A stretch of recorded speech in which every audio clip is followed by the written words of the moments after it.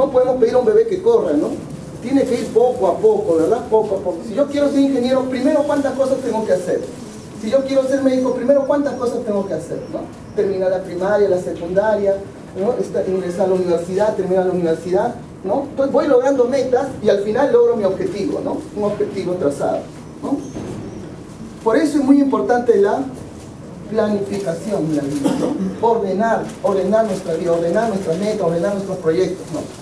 Porque cuando uno tiene orden, va avanzando poco a poco, va logrando su meta poco a poco. Pero ¿qué pasa cuando uno no planifica? Es como un barco que está a deriva, no, no tiene norte, ¿no? Y no se avanza, no se está perdido en medio del mar. Entonces, la planificación es fundamental. Muchos chicos a veces no planifican y actúan por el momento. No ordenan, no tienen metas claras y actúan por el momento. ¿Y qué podría pasar? La siguiente. Por ejemplo, lo que estamos viendo en nuestra sociedad es que está aumentando madres adolescentes, padres adolescentes. Ustedes saben que esto cambia mucho la vida de una persona. Traer un hijo es mucha responsabilidad. ¿no? Se necesita tiempo, se necesita dinero, condiciones para poder desarrollar a este hijo. Primero el estudiante tiene que lograr sus metas, ser profesional, hacer una maestría, un doctorado, aprender inglés, aprender computación, aprender administración. Ahora es muy importante administrar y luego una, una vez que ya logró todas esas metas, ahora recién, ¿no? Hay condiciones para traer hijos y formar una familia, ¿no?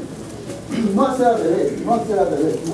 En países desarrollados así piensan las personas, primero logran sus metas, su desarrollo profesional, personal, y después cuando hay condiciones, ¿no? Piensan en los hijos, ¿no? Piensan en, ¿no? en países como el nuestro, a veces, ¿no? Sucede lo contrario. Ah, y algo que es muy importante, es muy importante en toda persona, es valorar el tiempo. Respetar nuestro tiempo, respetar el tiempo de los demás. Tenía un profesor en la universidad que había ido a hacer un doctorado a Inglaterra, Newcastle, en Inglaterra, en medicina. Dice que conoció un amigo inglés. Y el amigo inglés le dice, amigo peruano, te invito a mi casa para hablar de medicina el día viernes de 7 a 8 de la noche. Entonces el peruano sabe cómo piensan los ingleses.